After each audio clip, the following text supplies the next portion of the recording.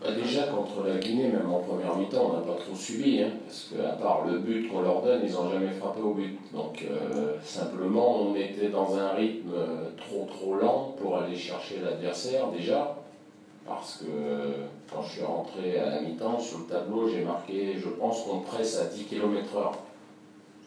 10 km/h, c'est pas bien haut hein, pour aller récupérer les ballons. Donc si on est tous à ce même rythme, autant se mettre devant notre défense à 30 mètres de notre but et puis de rester en place parce que ça ne sert à rien d'aller chercher quelqu'un dans un pressing si vous le faites à cette allure-là.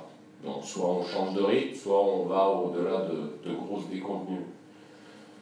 Donc euh, on est bien reparti dans cette seconde mi-temps, même lorsque Gervais était sur le terrain, on poussait, on poussait malheureusement est venue cette expulsion et après avec la réorganisation on a maintenu cette pression, chose qui n'était pas facile.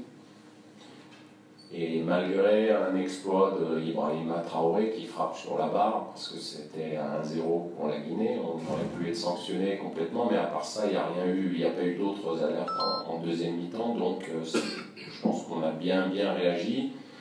Ce qui est regrettable, c'est de se trouver euh, dos au mur pour réagir serait beaucoup mieux d'agir euh, le plus rapidement possible. Donc, euh, on sait ce qu'il faut faire, maintenant à nous de le faire.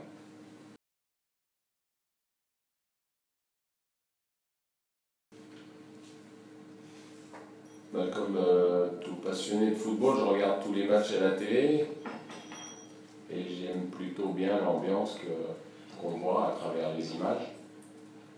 En ce qui nous concerne personnellement, on n'a aucun problème puisque je pense qu'on est dans, certainement dans le plus bel hôtel qu'il puisse y avoir à, Malabo. Euh, donc on, est dans un cadre euh, magnifique. Quand on, joue dans ce stade, c'est un beau stade. Il y avait une ambiance euh, très très bonne lors du premier match. Je pense que ça sera la même chose lors du second puisqu'il y a beaucoup de supporters des, Maliens, même Guinéens, Camerounais, Ivoiriens. c'est, c'est ce qui fait le charme de la Coupe d'Afrique, c'est de voir tous ces supporters marcher pour venir au stade, se mélanger sans se battre, sans s'insulter. C'est, le charme de l'Afrique, c'est magnifique.